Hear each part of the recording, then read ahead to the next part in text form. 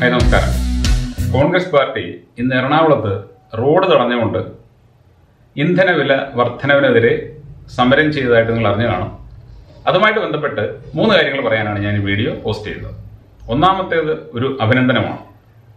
ഈ രാഷ്ട്രീയക്കാർ സമരത്തിന്റെ പേരിൽ അവിടെ റോഡിലൂടെ യാത്ര ചെയ്തിരുന്ന ജനങ്ങളെ തടഞ്ഞിട്ടപ്പോൾ അവിടെ ട്രാഫിക് ജാമിൽ കുടുങ്ങിപ്പോയ സിനിമാ നടൻ ശ്രീ ജോജു ജോർജ് പുറത്തിറങ്ങി അവരോട് പ്രതികരിച്ചു.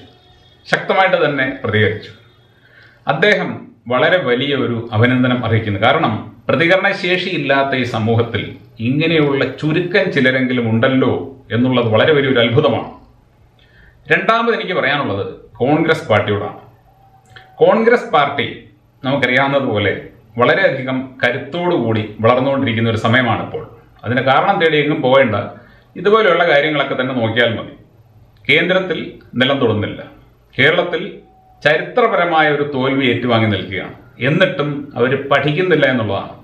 ഏതായാലും ഈ സമരം ചെയ്ത സാറന്മാരോട് ഞാൻ ഒന്ന് രണ്ട് കാര്യം പറഞ്ഞു തരികയാണ്. നിങ്ങൾ എന്തിനാണ് ഈ റോഡേ കൂടെ പോയ ആൾക്കാരെ തടഞ്ഞിട്ടത്? എണ്ണവില കൂട്ടിയത് അവരായിരുന്നു.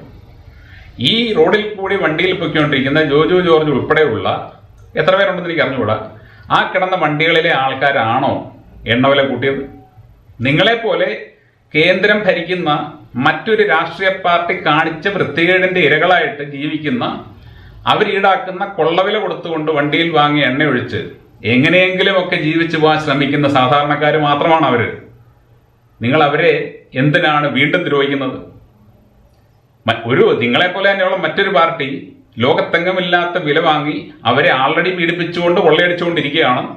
അതിനെതിരെ സമരം ചെയ്യാനെന്ന പേരിൽ നിങ്ങൾ അവരെ വീണ്ടും ശല്യപ്പെടുത്തുകയാണ് ദ്രോഹിക്കുകയാണ്.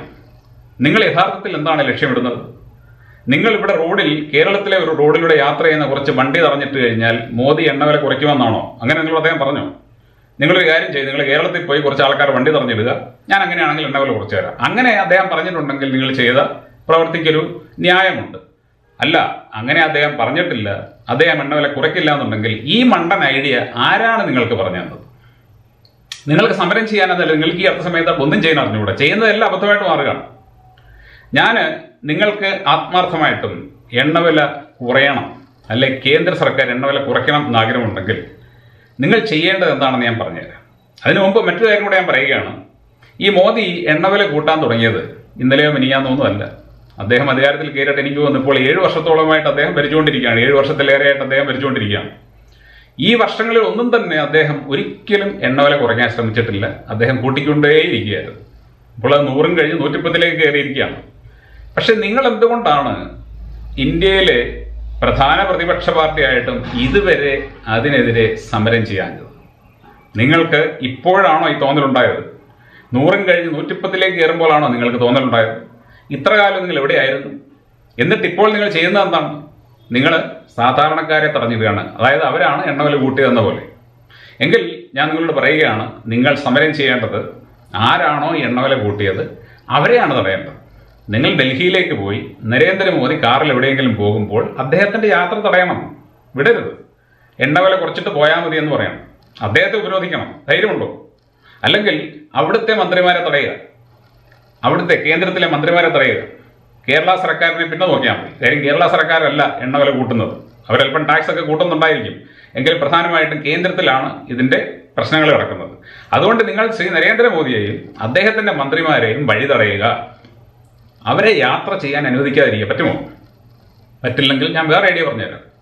അതിതാണ് ഇവിടെ റോഡിൽ കൂടെ പോകുന്ന വണ്ടികൾ ഓടാതിരിക്കണം എന്നാണ് നിങ്ങളുടെ ആഗ്രഹമെങ്കിൽ അത് തന്നെ നിൽക്കുന്ന ഒരു തന്ത്രമുണ്ട്. അതായത് റോഡിൽ കൂടെ പോകുന്ന വണ്ടികളൊന്നും ഓടരുത്. അതിങ്ങനെ നിശ്ചലമായിട്ട് കടന്നു കഴിഞ്ഞാൽ മോദി സാർ എണ്ണ കുറയ്ക്കുക നിങ്ങൾ ചിന്തിക്കുന്നുണ്ടെങ്കിൽ അതിന് വേറൊരു വഴിയുണ്ട്. ആ വഴി ഇതാണ്. നിങ്ങൾ ഒരു ദിവസം ഇന്ത്യയിലുള്ള സകല പെട്രോൾ പമ്പുകളും ഉപരോധിക്കണം. ഒരു തുള്ളി എണ്ണ പോലും അവിടെ നിന്ന് അവർ വിൽക്കരുത്. അതൊരു സൂചനയായിട്ട് കേന്ദ്ര സർക്കാരിനോട് പറയണം. ഇന്നപോലെ ഞങ്ങൾ പെട്രോൾ പമ്പുകൾ ഉപരോധിക്കുകയാണ്. എണ്ണവില കുറച്ചില്ലെങ്കിൽ ഈ സമരം ഞങ്ങൾ ശക്തിപ്പെടുത്തും.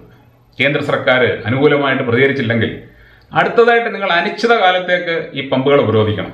പമ്പുകൾ വഴി കച്ചവടം നടന്നെങ്കിൽ മാത്രമല്ലേ കേന്ദ്ര സർക്കാരിന് കേന്ദ്ര സർക്കാരിന് എന്ത് ചെയ്യാൻ പറ്റും? കാശ് ഉണ്ടാക്കാൻ പറ്റുള്ളൂ. അല്ലെങ്കിൽ അവർക്ക് ടാക്സ് കിട്ടുകയുള്ളൂ. ഇനി നിങ്ങൾക്ക് എല്ലാ പമ്പുകളും ഉപരോധിക്കാൻ വയ്യ. അത് കുറച്ച് മെനക്കേട് പണിയാണ് നിങ്ങൾ കരുതുന്നുണ്ടെങ്കിൽ ഞാൻ അതിനേക്കാൾ എളുപ്പമൊരു വഴി പറഞ്ഞുതരാം. നിങ്ങൾ ചെയ്യേണ്ടത് ഈ പമ്പുകളിലേക്ക് സപ്ലൈ പോകുന്ന പെട്രോളിയം പെട്രോളിയം വെയർഹൗസുകളുണ്ട് അതായത് പെട്രോളിയം പ്രൊഡക്റ്റുമായിട്ട് ഈ പമ്പുകളിലേക്ക് എല്ലാ സംസ്ഥാനങ്ങളിലും രണ്ടോ മൂന്നോ സ്ഥലങ്ങളിലും കാണും ഈ സപ്ലൈ കൊടുക്കുന്ന സ്ഥലങ്ങൾ. അപ്പോൾ ആ സപ്ലൈ പോകുന്ന ഇടങ്ങളിൽ നിങ്ങൾ ടാങ്കർ ലോറികൾക്ക് ഉപരോധം ഏർപ്പെടുത്തുക. അവിടെ നിന്നും ടാങ്കർ ലോറികൾ എണ്ണയുമായിട്ട് ഒരിടത്തോട്ടും പോകരുത്. അത് കുറേ കൂടെ എളുപ്പമാണ്.